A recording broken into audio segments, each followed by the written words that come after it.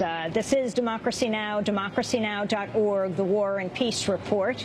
As we turn right now to one of the most impassioned speeches at the UN Climate Change Conference today, given just hours ago by the Tuvalu politician Apisai Ielemia.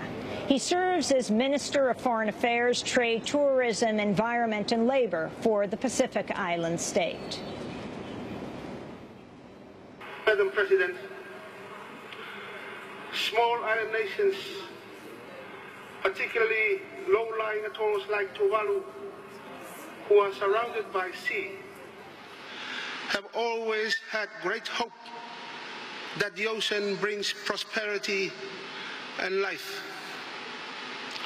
Soon, this will no longer be the case. The ocean is now bringing destruction and is threatening our very existence. Sea level rise could engulf our nation, our entire nation, and therefore erase our rights as a nation and as a sovereign state. But sea level rise is not only our concern.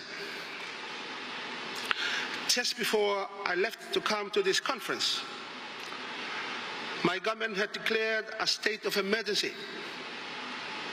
because we were suffering the worst drought in recorded history.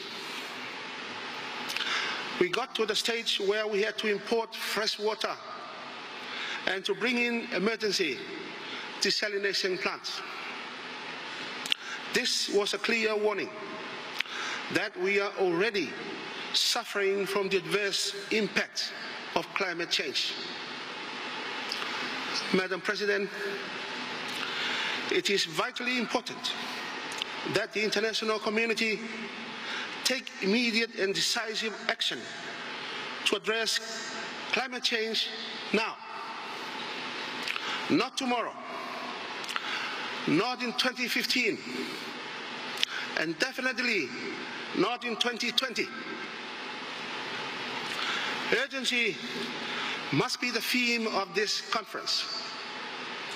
We have no time to wait, and we are only a few inches from the point of no return. Tuvalu's Minister of Foreign Affairs, Apisai Ielemia.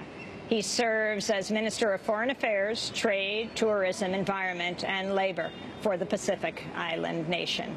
This is Democracy Now!, democracynow.org, the War and Peace Report, as we broadcast live from the UN Climate Change Conference in Durban, South Africa. Back in a minute.